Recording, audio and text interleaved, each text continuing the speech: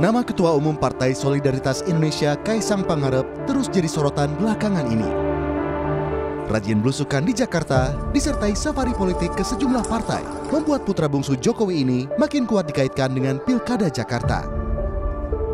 Terakhir, nama Kaisang muncul dalam survei elektabilitas Bursa Pilkada Jakarta yang dirilis Litbang Kompas.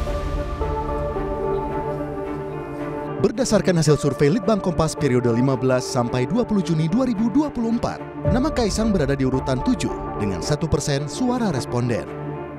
Sementara di urutan pertama ditempati Anies Baswedan dengan 29,8 persen, diikuti Ahok dengan 20,0 persen, kemudian Ridwan Kamil 8,5 persen. Meski elektabilitas Kaisang masih di bawah beberapa sosok lain yang sudah lebih populer, PSI menilai positif karena munculnya nama Kaisang bisa jadi harapan baru bagi publik dengan hadirnya keterwakilan dari kalangan muda. Hal ini berkaca pada pemilu 2024 lalu, di mana nama Gibran Raka Buming Raka yang sebelumnya tidak diperhitungkan akhirnya muncul sebagai pemenang Pilpres. Kita belajar dari uh, Gibran ya, Mas Gibran ketika waktu dimunculkan kan juga selain banyak kontroversi lalu dibilang juga tidak cukup tinggi survei untuk elektabilitas ya. Namun kan kita sudah tahu hasilnya seperti apa.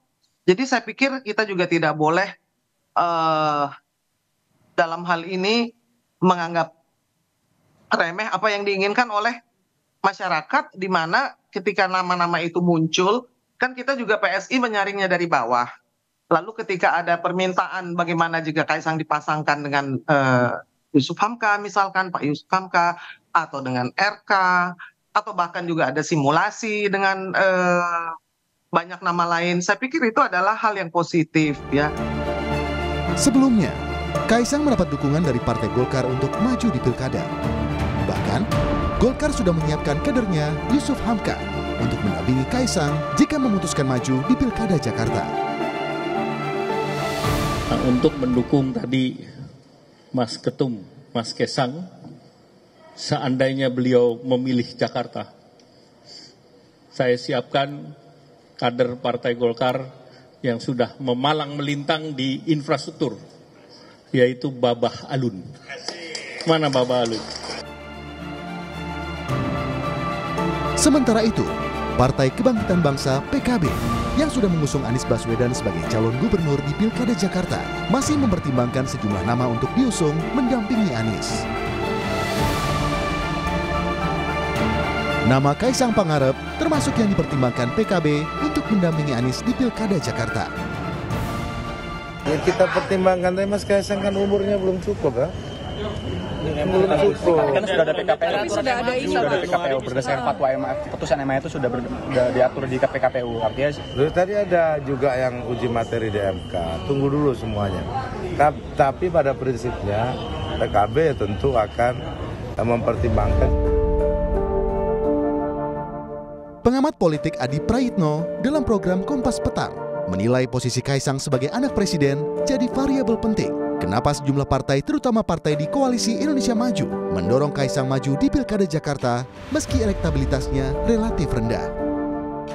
Ya saya kira dua hal. Pertama munculnya nama Kaisang ini kan tentu tidak terlepas dari posisinya sebagai ketua umum PSI yang belakangan begitu agresif melakukan safari politik ke sejumlah partai.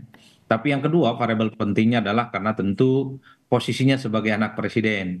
Jadi variabel ini yang sebenarnya mempertebal kenapa partai-partai di Kim itu satu dua partai perlahan sudah menyebut Kaisang sebagai sosok yang dinilai cukup potensial untuk maju dalam pilgub di Jakarta. Selain Kaisang Pangarep, ada nama mantan Gubernur Jawa Barat Ridwan Kamil yang selama ini disebut-sebut akan didorong koalisi Indonesia Maju untuk diusung di Pilkada Jakarta. Namun, pengusungan dua nama ini berdampak pada kesolidan internal koalisi Indonesia Maju.